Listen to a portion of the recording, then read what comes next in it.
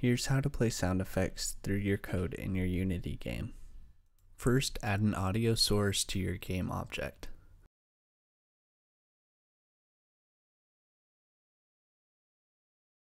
Then open up the script from which you want to call the audio file. Create the audio source variable and the audio clip variable.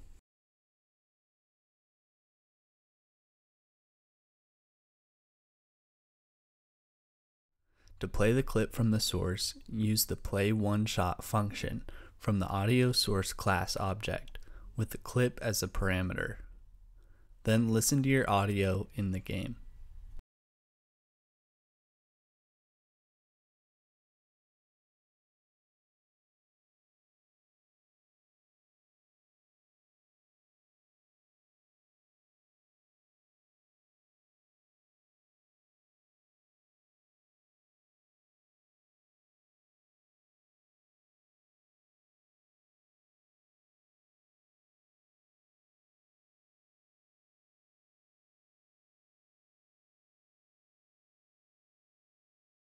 Калачникова.